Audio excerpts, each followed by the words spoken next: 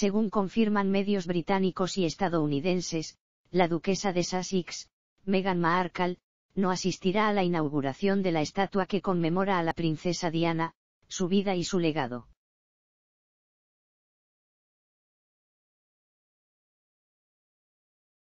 Así, el príncipe Harry acudirá solo al evento, que se celebrará, por supuesto, en Reino Unido.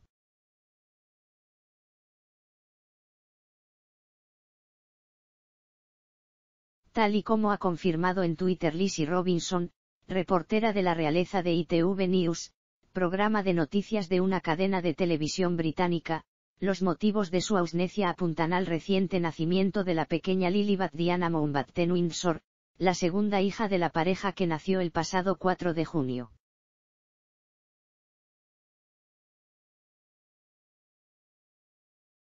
Según informa la revista Hello Magazine, la estatua se estará situada en la antigua casa de Diana en el Palacio de Kensington.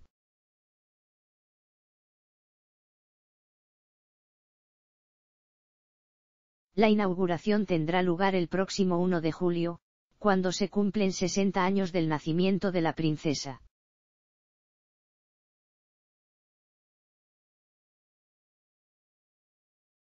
La figura, tal y como anunciaron en 2017 los príncipes Harry y William, es obra del escultor Ian Rank Broadley, artista ya conocido por el diseño de la reina Isabel II para las monedas británicas.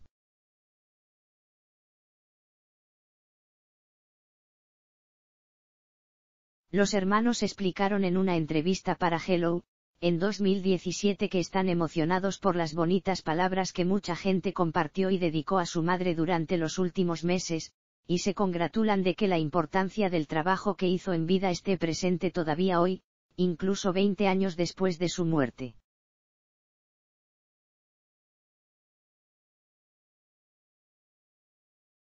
La noticia ha sido recibida con escepticismo.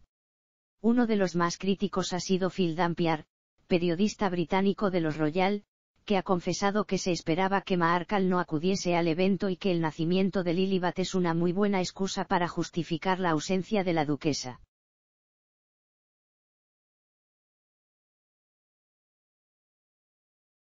La visita del próximo 1 de julio será la primera que efectúe el príncipe Harry después de la muerte del príncipe Philip el pasado 17 de abril.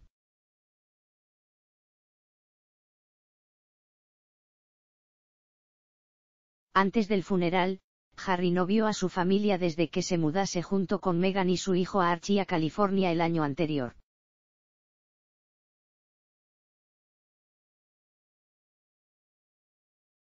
Es mucha la expectación que hay en torno a este encuentro dada la tensión que existe entre los miembros de la familia real británica desde las polémicas declaraciones que Meghan y Harry hicieron en el programa de Oprah Winfrey.